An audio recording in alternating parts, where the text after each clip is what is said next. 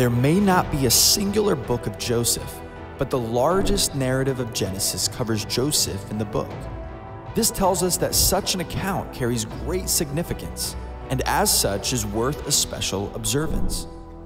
Within Genesis chapters 37 to 50, we will discover the patterns of God's work through his providence and his promises for his people, all of which are interwoven through human fallenness, failures, and betrayal. Which means this what man meant for evil, God meant for good. This is the picture and power of the gospel. Throughout the account, Joseph may be the central figure, but his family, especially Judah, draws a prophetic line to the coming Messiah. You see, through Joseph in the book, God is reversing the curse and revealing the blessing. And that is why in Joseph's life, we see a type of Christ, betrayed by his own family, only to one day be in the very position to save many. So, as we trace the life of Joseph, from a low pit to the high palace. Let us learn the lessons and know the blessings of steady obedience to God's promises, regardless of our circumstances. This is Joseph in the book Evil Recycled for Good. All right, so the further that we have made our way through the account, the harder it becomes to do a review. As you can imagine, there's more details, there's more nuances. We're actually entering into chapter 43 this morning. If you have your Bibles, you can turn there in advance. We're going to cover the entire chapter. Now, I don't want to get lost in the details of a review. Then I get lost in the details of a review. But what we have to consider is the pictures that have been laid out before us you can call them snapshots, verse by verse, chapter by chapter, these pictures. If you know what a photo mosaic is or a mosaic photo, it's a bunch of pictures that make up a larger picture. When you focus in, you see the pictures, the squares in and of themselves. When you focus out, you get to see, like from an aerial view, a greater picture or an image that comes through. Well, that's what's happening Chapter 37 Joseph and his brothers and their father Jacob betrayed, sold as a slave. At the end of chapter 37, they return home without their brother. They give the coat of many colors to their father. It's drenched in goat blood. Jacob assumes Joseph is dead.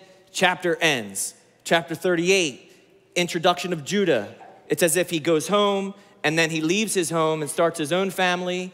In the midst of chapter 38, we see how far off and sinful and selfish Judah is. You got to mark that because the entire account is about Jacob, not Joseph. So that Joseph could save the family of Jacob, which would eventually preserve the line of Judah, because years later, the line of Judah would come through the line of Judah. That's why chapter 38's there. Chapter 39, back to Joseph. He's a slave. He's falsely accused of rape. He ends up in the prison. Chapter 39 ends, chapter 40 begins. Joseph meets two inmates, two officials in the king's court, the baker and the butler. They both have dreams the same night. They wake up, they're disturbed. Joseph notices they're disturbed. Asks them, Why are you disturbed? They tell them the dreams. Joseph interprets the dreams. Joseph says to the butler, Don't forget about me when you get out of this place. He gets out and forgets about Joseph. Chapter 41 begins. Pharaoh has two dreams. That is when the butler remembers, I know a guy, they summon Joseph, he comes, he interprets the dreams. Chapter 41 ends, chapter 42. This interpretation of the dream involved famine for seven years and then seven years of prosperity. Chapter 42 is when Jacob and the land of Canaan and his family is impacted by the famine. He sends his boys where? To Egypt. It's when Joseph recognizes his brothers, but the brothers don't recognize Joseph. He deals with them harshly, he's testing them, just as the Word of God is testing us. When he sends them home, he takes one of the brothers and keeps him, Simeon. Says, Go home if you're telling me the truth and bring back this younger brother you spoke of. They go home. The second time they return home to their dad without a brother. This time they tell him the truth. about what happened. Dad, we can't go back unless we bring Benjamin. Jacob's faith is on display, or lack thereof. Jacob says at the very end of chapter 42, he says to his sons, My son shall not go down with you, for his brother is dead, Joseph, and he is left alone. Benjamin is all by himself. If any calamity should befall him along the way in which you go, then you should bring down my gray hair with sorrow to the grave. This is fatalism. This is Jacob who might be entangled by what we could call grief. Now, please go back and listen to that message. At the end of the message, we talked about grief and how many of us are grief stricken. And grief is God given, it's a reminder that life is brief. And it also should be the trigger that causes us to look to God for relief or for grace. But often, grief becomes our own God, and we surrender and bow to grief as opposed to finding the God of grief and reach out to Him for that comfort. Does that make sense? Right? So we're begin with that in mind about grief or pain or affliction or hardship or trial. And all of us in this room are going through it. Now, here's the question Do you have the peace of God as you navigate that grief? As you navigate that trial? How do you get the peace of God in the midst of your grief? I'll tell you one thing you do not do. You do not find peace in the midst of grief. And you said, wait, I thought you said you do find peace in the midst of grief. No, you don't find peace in the midst of grief. You let go of the grief, and the peace of God finds you. You let go of the struggle, which is the word surrender. And then the peace of God finds you. Here's the verse that I send out to people all the time when they're in the midst of grief. It's Isaiah 26, verse 3. You may have received this verse from me. And it says this You will keep him in perfect peace. You, God, will keep him or her in shalom, shalom, perfect peace, compounded peace. When that individual keeps their mind stayed on him. Watch the exchange. God, you keep them in perfect peace when they keep their mind stayed on you. When my mind is focusing on Him in the midst of my trial or my grief, God slaps His peace and stabilizes our soul. That doesn't remove the grief, so to speak, but it gives you this anchor that keeps you stable as you go through it. Now, this is what we're gonna see in chapter 43. We're gonna see the stages of surrender in both Jacob and the brothers. Like that mosaic picture that I just explained earlier, all those little snapshots and individual pictures from chapters 37 all the way to chapter 42 are actually going to make a mosaic in chapter 43. Watch this. Chapter 37 and chapter 38. It's gonna be like those two chapters are now inversed or reversed as they come up in chapter 43. We're gonna read it slow, we're gonna cover a lot of ground. Let's begin. Now the famine was severe in the land, and it came to pass when they had eaten up the grain which they had brought from Egypt that their father said to them, Go back, buy us a little food. All right, stop. Timelines are important. In chapter 45, I'm jumping ahead, when Joseph eventually reveals his identity, he says to them, For these two years, the famine has been in the land and there are still five years left. There's your seven, which tells us that we're within the span of two years, the first two years of the famine. Remember, Joseph was gone from the age of 17 to 30, and then we have the first seven years of the famine, that's, do your math, that's 20, and now we have another two years, that's 22 years since Joseph last left Canaan. 22 years added to this equation, which means within the first year of the famine, Jacob's family is in great need. That's when he would have sent his boys to Egypt, the first year. That's a couple months, half a year, the first year. Within that first year, famine has struck the family. Go get us some grain. That's chapter 42. They go into Egypt. That's the encounter with this mysterious Egyptian ruler who deals harshly with them, who takes Simeon, who sends them home. Don't return without your younger brother. That's what's happening. So, what happens? They go home. We have no idea how long the food lasted. But if the famine was severe, we could say a few months. We could even say an entire year has passed, which means this Jacob has no concern that Simeon was left in Egypt. And even in the statement here, go back and get us more food, he makes no mention of the dire circumstances that his family's in, other than he wants them to go get more food. Why do I stop and say it like that? Because it's not true faith, but dire straits that has created the need to go back to that place. And sometimes in our life, it's not necessarily faith that causes us to make our decisions. In fact, it's sometimes just necessity. It's sometimes just the pressure of the circumstances. You're not even looking to God.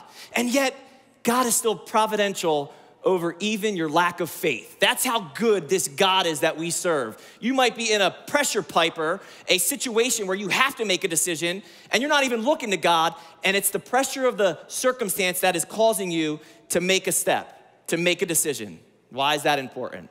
Because we often don't see the complications of life, or what I would say the predicaments of life, as providential. Oh no, we don't want the predicaments. We don't want the complications. We don't want the complexities.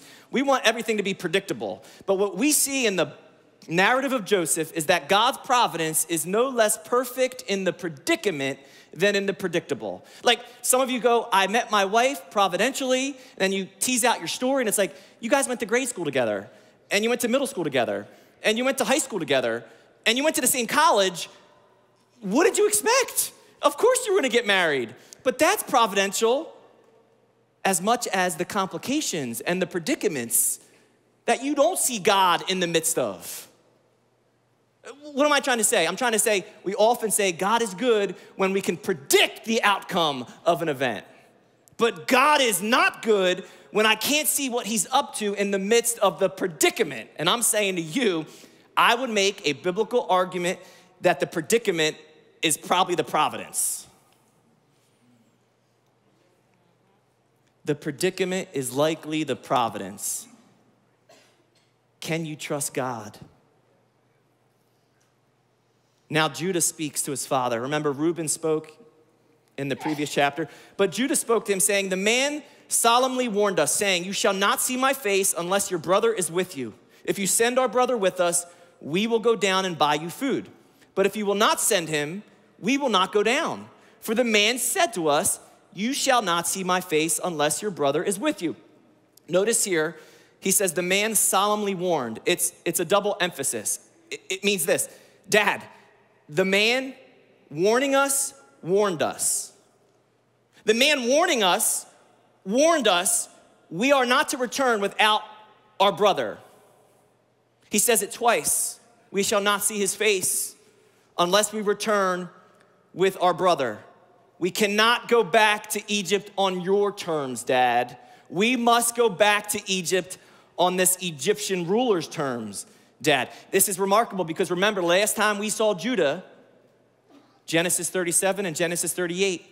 Genesis 37, Judah was the one, the mind behind the plan to sell Joe as a slave into Egypt. It was Judah, his voice. Let's profit off of him. And then Genesis 38, Judah mishandling his family and not giving his third son to his daughter in law, Tamar. Remember that? So she took matters into her own hand, disguised herself as a harlot, met him on the road, and eventually he would lie with his daughter in law so that she would become impregnated so she could carry on her family line. And when Judah found out, he was enraged. Remember this? And he said, Let's stone her or kill her, for she is a harlot. And what did, what did Tamar do? She sent back the pledge or the surety of that original deal, which was his signet, his cord, and his staff. Oh, if that's what you're gonna do to me, hey, the person who was the father of the baby in my womb owns these items. To which Judah said, Remember this? She is more righteous than me. This is probably what begins the submission and surrendering of Judah. What we're seeing is the evolution of Judah. How so? Remember, he sold his brother for money. Now he's stepping out to his dad and saying, Dad, we got to take Benjamin back to save the family. Remember, he lied to Tamar because he wouldn't give up his son. Now he's asking his father to give up his son. You're beginning to see something happen in the heart of Judah. Now, watch this, verse 6. And Israel said, Why do you deal so wrongfully with me as to tell the man whether you had still another brother? I wonder how many times Jacob asked that question to his boys. But they said, The man asked us pointedly about ourselves and our family, saying, Is your father still alive? Have you another brother? And we told him according to these words. Could we have possibly have known that he would say, Bring your brother down? Judah says, We gotta go with Benjamin. That's the only terms.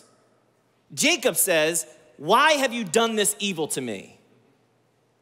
Jacob is resorting back to his baser nature, his sinful, selfish nature, which is interesting.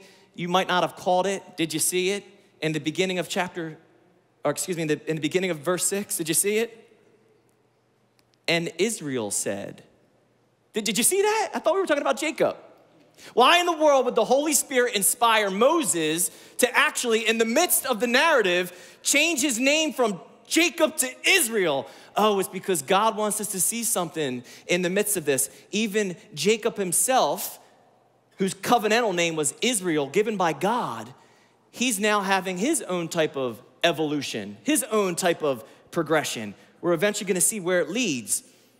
But first and foremost, Jacob is basically saying to his boys, none of this would have happened had you not told him the truth. Oh, that's what the word Jacob means supplanter, deceiver. That's what the name, and of course, the nature of this sinner named Jacob, that's what he is all about. We know that because he was able to deceive his father for the birthright. You're going backwards now. Jacob's nature. In Genesis chapter 32, God changes his name from Jacob to Israel. You're no longer deceiver, you're now governor, governor of God, a governed by God. It also is reiterated in chapter 35. God comes to Jacob and says, You're no longer Jacob. Your name is now Israel, which means governed by God. And in the picture, we're seeing our nature. When we're sinner, like Jacob, we're self preserving. When we're sinner, we are deceiver. When we are deceiver, we are living for self. Anybody know what I'm talking about? when you're living for self, when you're self preserving, when you're selfish, that's your baser nature. That is your sinful nature. That is your carnal man or woman. That is being like Jacob. However, because of Jesus Christ coming into our life, we become believer. And when you are believer, you're no longer living for self. Oh no. Sanctification is about dying to self and being governed by God. The Spirit inspires Moses to write, oh, we're gonna deal with Israel here. And you're gonna see how he's eventually going to be governed by God.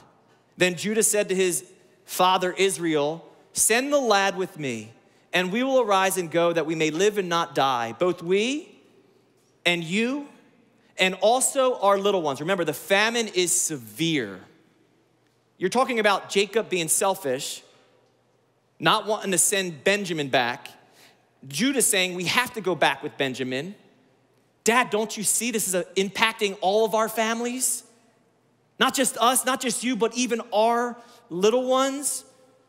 Now, watch Judah. I myself will be surety for him. That's the same word in Genesis 38. The last time Judah presented a pledge or surety, it was obviously to be a deceiver, like his father. And here now, he is presenting a surety or a pledge, and it's himself. You shall, from my hand, you shall require him. If I do not bring him back to you and set him before you, then let me bear the blame forever. What was Reuben's presentation to his dad? Let him come. If anything happens to him, you can kill my two sons. Let's just add more pain and more grief to the family. Judah is actually saying, I'll put my life on the line.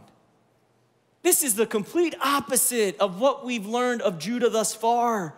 Last time Judah presented himself, it was for self gratification in Genesis 38. Here in Genesis 43, it's for family preservation. Dad, my life for Benjamin's life.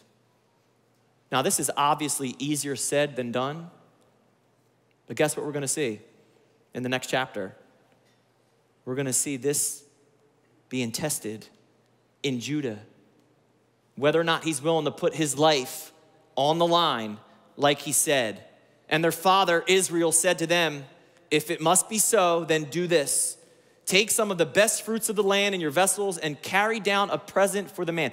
Take the fruits from our land and take a present, including a little balm, a little honey, spices, myrrh, pistachio nuts, and almonds. Take double money in your hand Take back in your hand the money that was returned in the mouth of your sacks. Perhaps it was an oversight. Take your brother also and arise, go back to the man. Verse 14, and may God Almighty give you mercy before the man, that he may release your other brother and Benjamin. If I am bereaved, I am bereaved. All right, a lot has just happened in these few verses. Jacob is finally stating, All right, I'm ready to release Benjamin. But before you go back, make for yourselves a present to give to this man. That's interesting because Jacob has done this once before. When there was a conflict between him and his brother Esau in Genesis 32 and 33, when he was worried about Esau, reports were Esau's returning, Jacob, or excuse me, Jacob was fearful. He, he presented gifts to go before him to appease perhaps the wrath or anger of his brother. He's resorting to the very things he's done in his past to appease the wrath or the anger of somebody. He did it with Esau and he's attempting to do it here. Now, note this chapter 37, when we're told that Joseph is taken as a slave and on his way to Egypt with an Ishmaelite caravan, it's interesting Moses highlights the product that was in that caravan. You know some of the products that were in that caravan in chapter 37? You can read it myrrh, spices, and balm. In other words, the last time the caravan of people with Joseph were going into Egypt, they had these very same items. And now Jacob is putting these items together to go from Canaan back to Egypt. Of course, all these items, in fact, I don't know if you know this, fruits, organic from the land, balm, honey, spices, myrrh, pistachio nuts, almonds, all these organic delights was the inspiration behind the grocery store Trader Joe's. Did you know that? Actually, that's not true at all. but it sounded like it could be. Go down and trade with that guy. His name's Joe, Trader Joe's. he ends with a prayer and he states in verse 14, and may God Almighty give you mercy before the man, that he may release your brother. Jacob is like, which brother again did we leave behind in Egypt? Like, he's not mentioning Simeon for some reason, but he, he uses this covenantal name of God. Don't miss this. Oh, the first time we are introduced to the Almighty God, El Shaddai, in the original language, it's Genesis 17. And it is God identifying himself to who? Abraham. I am Almighty God, and I'm gonna establish a covenant with you, Abraham, and through your loins, I'm gonna produce nations. This was the covenant name of God shown out with Abraham. And guess where it shows up again? covenant name of God when Abraham's son Isaac is blessing his son Jacob. And he orients his son's attention to the Almighty God. When does this show up again? Oh, it shows up again when God visits Jacob and reminds him that he's going to make a nation through him, just like he said to Abraham, just like he said to Isaac. Now, as much as this sounds good, you can read the lines. You don't have to read between the lines, you can read the lines. Who is he saying this to? Who is Jacob saying this to? Is he saying it to God? No. He's not. He's saying it to his boys. Does that make it less potent? No. But it just shows you where his heart is. And he ends not with, so be it. He ends with, if I am bereaved, I am bereaved. In other words, it is what it is. What am I trying to get you to understand here? Well, in Genesis chapter 32, the last time he was under pressure and he put a gift together to send to his brother Esau, notice what, he what he does. Ready? Then Jacob said, O God of my father Abraham, and God of my father Isaac, the Lord who said to me, Return to your country and to your family, and I will deal well with you. I am not worthy of the least of all the mercies, same word, and all the truth which you have shown your servant. For I crossed over this Jordan with my staff, and now I have become two companies. Deliver me, I pray, from the hand of my brother, from the hand of Esau, for I fear him, lest he come and attack me and the mother with the children. For you said, he's, he's bringing Almighty God into he's bringing God into attention of his word. For you said, I will surely treat you well and make your descendants as the sand of the sea, which cannot be numbered for the multitude. Is that what we see here in Genesis 43? Oh, no, it's not. Which means he's still coming up short. When he was in the original pressure with his brother, he is like, God, I need your mercy. I need you to spare me. I need you to deliver me. Well, here he's saying to his boys, hey, it's like, hey, may God bless you. May God's will be done in you. And what will be, will be. In other words, it's faith and fatalism, and faith and fatalism don't mix. It's true what he's saying. May God be merciful. May the Almighty God who gave a covenant to my family spare us and deliver us. It's true, the platitude is true, but the attitude underneath it is false. Well, how many of us can quote and regurgitate the Christianese? How many of us? We know what to say. How many of us, in the midst of our own circumstances or others, are quick to give advisement, advisements and Bible verses and, hey, God's gonna bless you through this, but we don't actually even believe it. Oh, the platitude be true, but the attitude underneath of it is actually false. How do you know that you've actually trusted God with your circumstances and left the consequences to Him? There's gonna be a peace and a faith, not fear.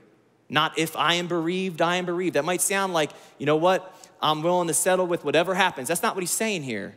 He is resorting back to that grief stricken state. Though he has made the right platitude, it's his attitude that God is after. So the men took that present and Benjamin, verse 15, and they took double money in their hand and arose and went down to Egypt and they stood before Joseph.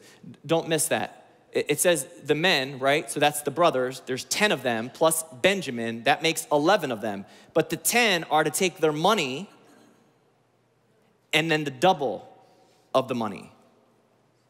The word money here is the same word that shows up in Genesis 37 as the word silver, same words.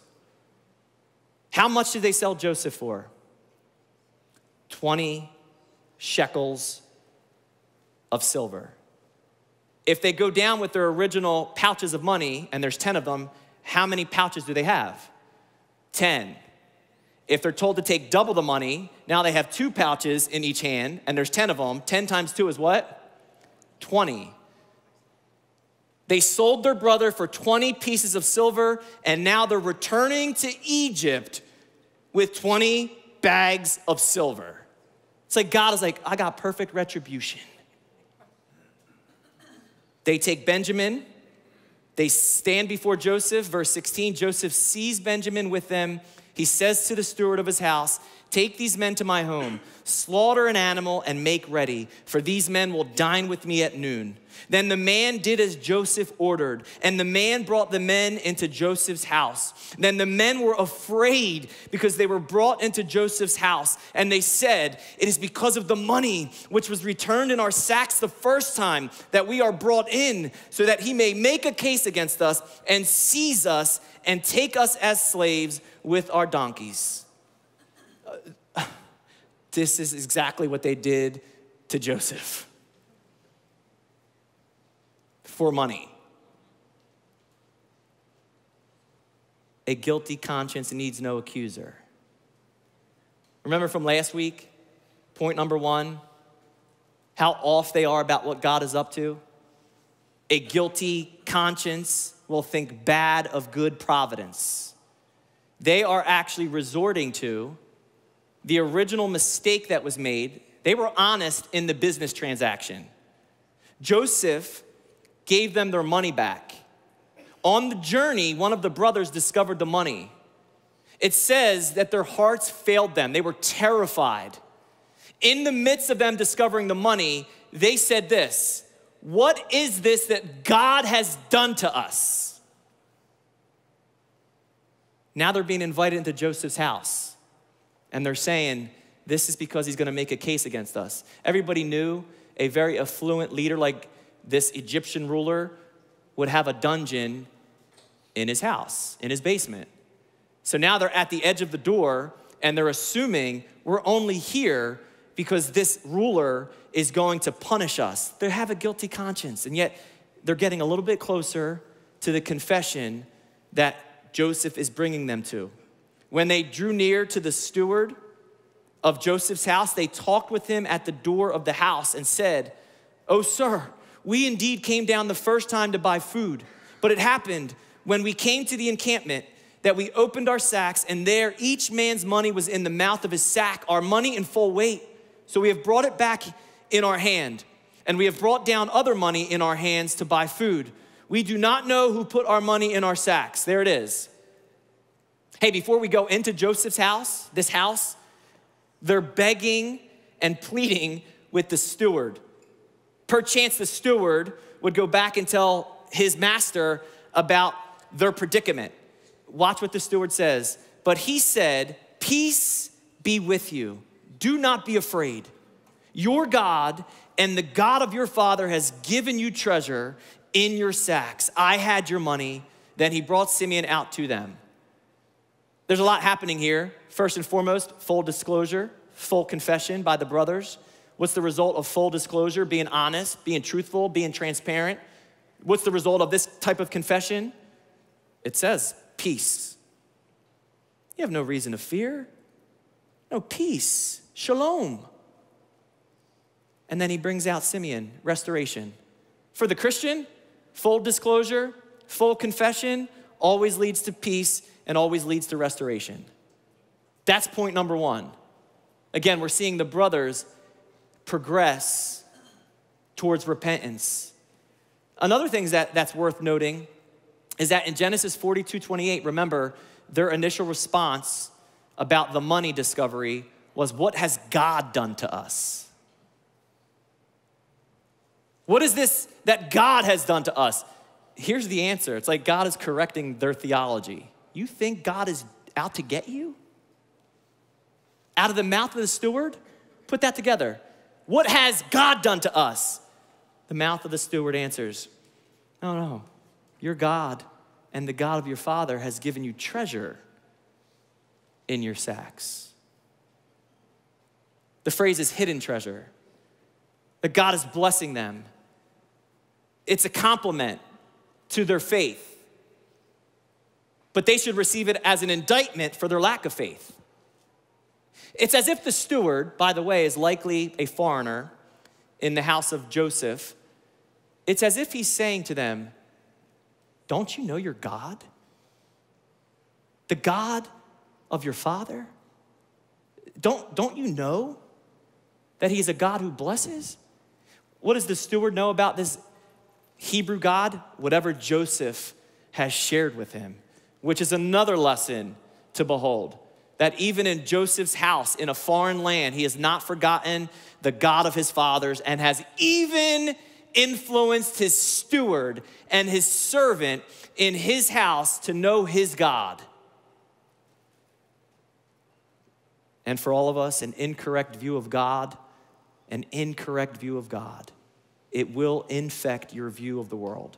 You know, starting from their actual circumstances, they can't see God in the midst of this. They think God is out to get them. He is not God who is a father, He's the God Father. He is out to, to deal with them based on their past. They're completely missing the blessings in the midst of their, their situation. They have an incorrect view of God.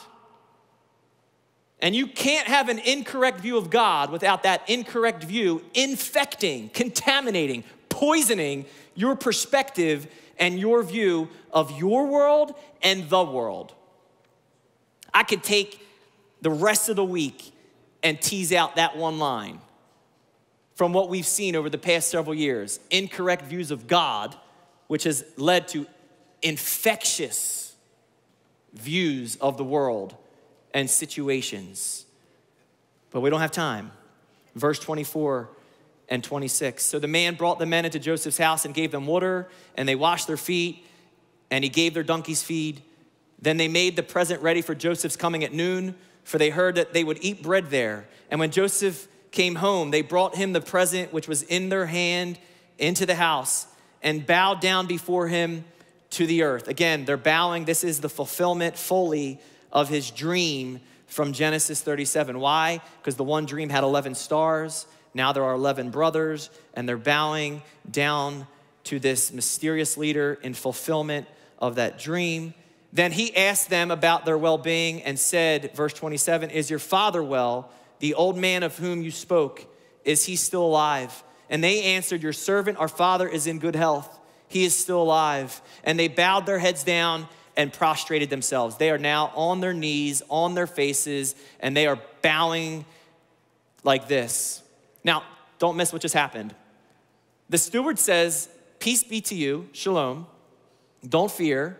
Your God and the God of your father, this covenant God, he's the one that gave you hidden treasure. Oh, by the way, true to the master's word, here's Simeon.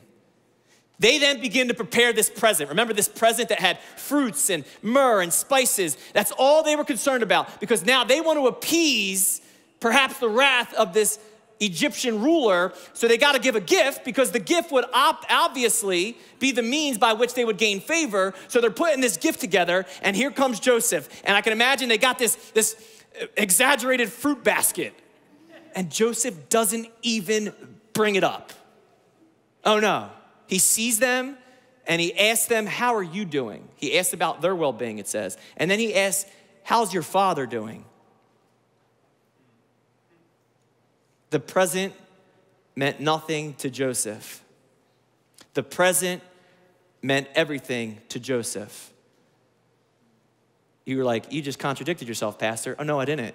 Listen to what I'm saying. The present, the gift, the goods meant nothing to Joseph. The present, the time, is my father good?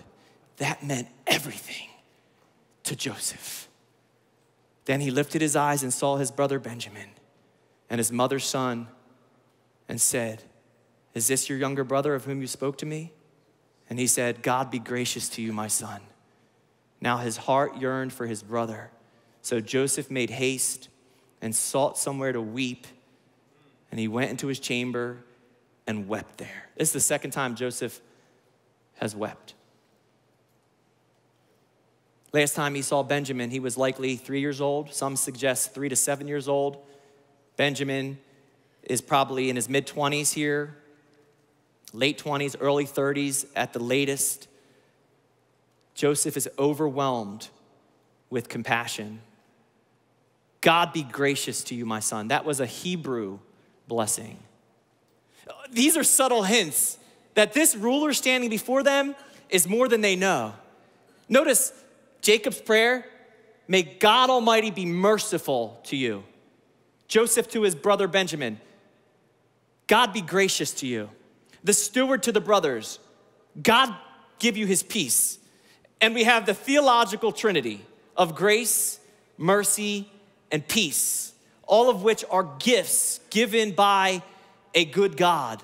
But more than that, in the midst of this, as Joseph is overwhelmed with mercy, the same word that we saw in the prayer from verse 14, said by Jacob as a best wish, that may God Almighty be merciful, is the same word used here in verse 30 that Joseph is overwhelmed with mercy. It's the prayers of Jacob, though they were more fatal than faith, that are coming to fulfillment in the heart of Joseph, extended it to his brother Benjamin. It's remarkable.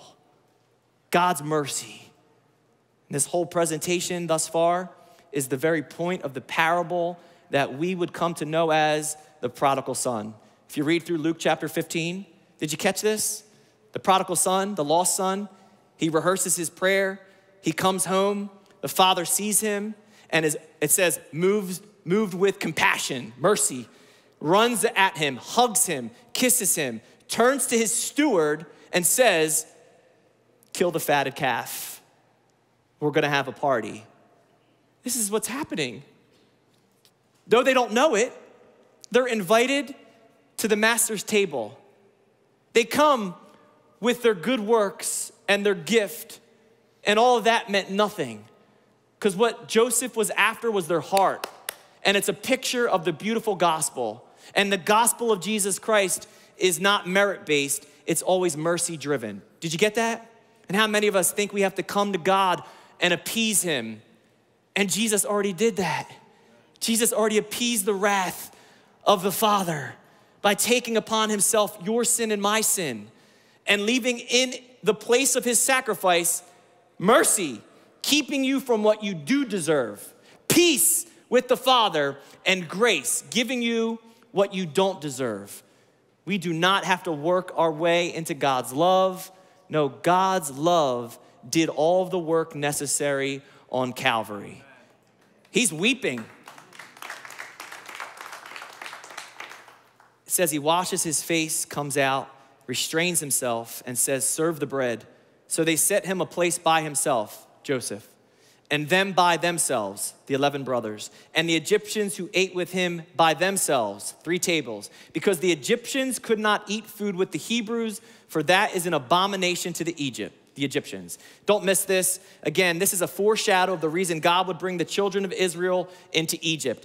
Egypt was very divided but they certainly would not mingle or marry these foreigners known as Jews or Hebrews. It was as if God was gonna take the Israelites, they'd become a large people through the book of Exodus, and they'd be in the furnace of Egypt. Why? Because God was preparing his people while he was preparing the land for his people. And it's simultaneous. And, and, and here, separation from the Egyptian culture prevented assimilation into the culture. God always knows what he's doing.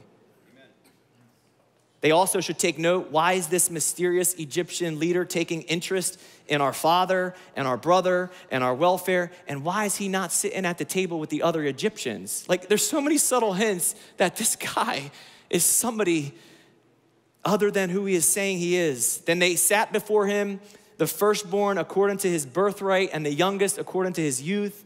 And the men looked in astonishment at one another. They're sitting according to their birthright.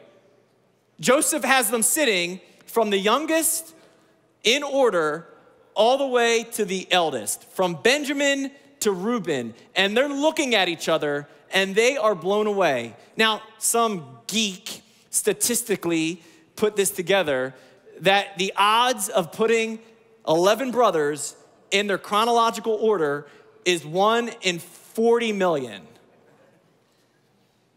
Very unlikely. Then he took servings to them from before him, but Benjamin's serving was five times as much as any of theirs. So they drank and were merry with him. They had a party.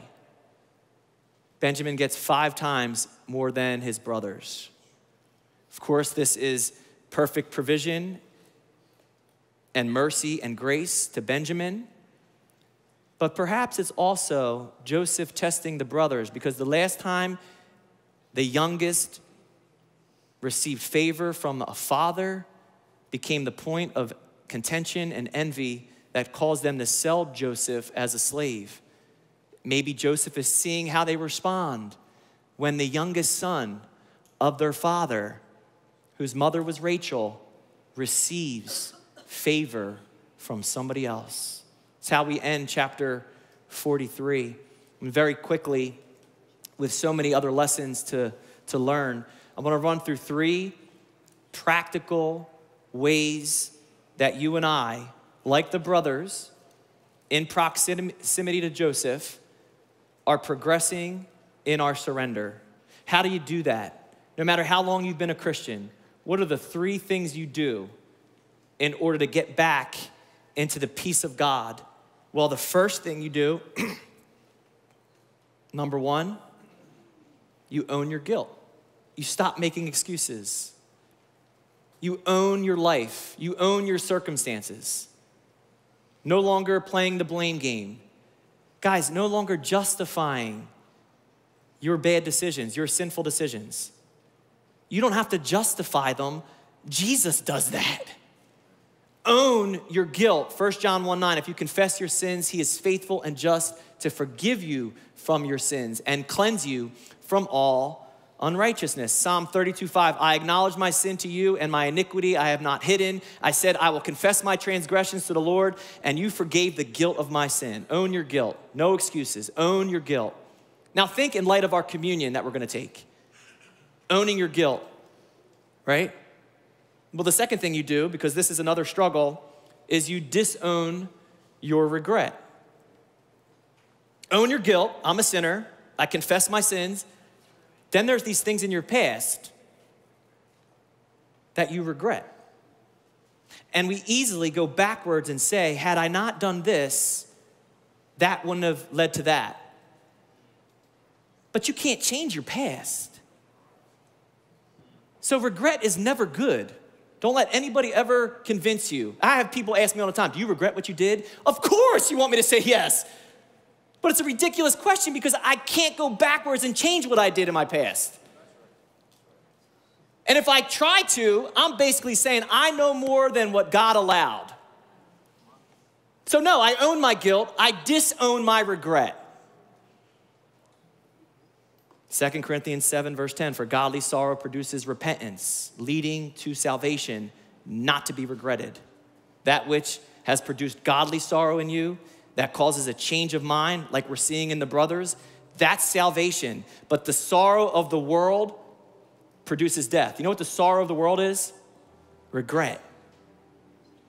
Number three, ladies and gentlemen, if you learn to own your guilt, no excuses. You begin to disown your regret. Number three, you begin to hone in on grace. Hone in on grace. Focus in on grace unmerited favor, the gift of God given in spite of you, given freely. The writer of Hebrews, chapter 12, verse 1, tells us that we're surrounded with a cloud of witnesses. So, why not run the race with endurance that's set before you? Looking unto Jesus the author and finisher of your faith, who led this life a sinless one, went to the cross for your sin so you can own your guilt, ordained everything in your life so you can disown your regret, accomplished what he came to do, and has sat down at the right hand of the Father so you can now hone in on grace. I mean, when we take communion, is that not what we're expressing? like the body and the blood.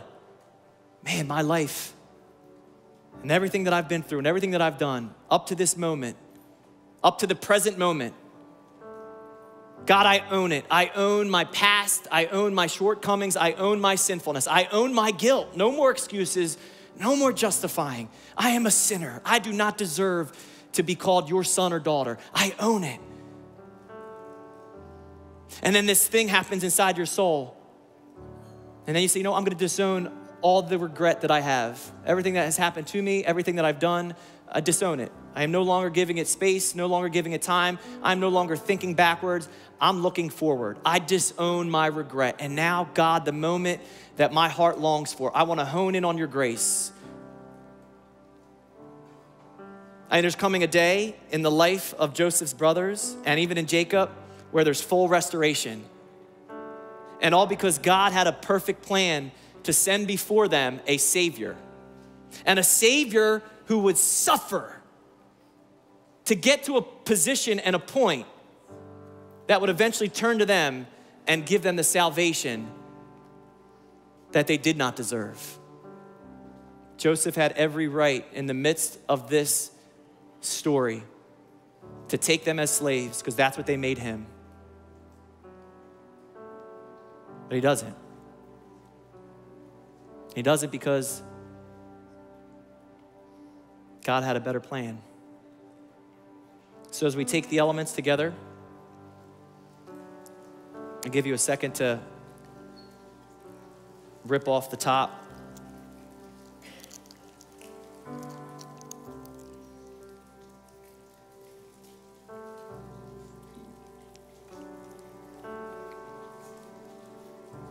Jesus, in what we call the Last Supper, was really the institution of communion in light of celebrating Passover, right? And he was pointing to himself, basically saying, I'm the fulfillment of Passover. And that blood that has been shed in the sacrificial system, that pointed to my blood. And my body is eventually going to be broken for you, he said to his disciples. And he took this moment with his disciples that would be instituted by the church. That every time we come together and we take communion, we're doing so to bring our lives in remembrance of what Jesus did, his death and his eventual return. That's what this symbolizes. Not to be taken lightly, none of it. And I think, physically speaking, materially speaking, as it's in my hand, you need to set aside a, a, space in your heart right now to do business with God. You, with all eyes bowed, closed. Father, we, we present our bodies before you, broken and sinful and weak as they are, fragile, fearful, regretful as they are. And we trust that your body broken is greater than all of our sins and all of our regrets and all of our shame your body broken perfectly for the forgiveness of sins and the righteousness of souls. So we take and we eat accordingly. And take and eat as you feel led.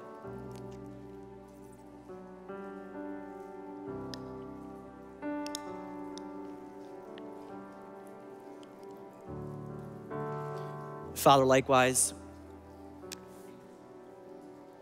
we partake in this cup, this juice, this wine, this symbolic blood that covers us, that completes us, that allows us to be free. And we do so with seriousness of heart and mind. And we thank you, O oh God, for your grace, your mercy, and your peace as the outcome. It's your blood. And it's in the name of your Son, Jesus, we do this. You take and you drink as you feel led.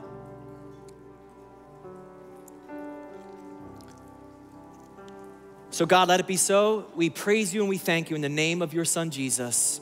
Amen.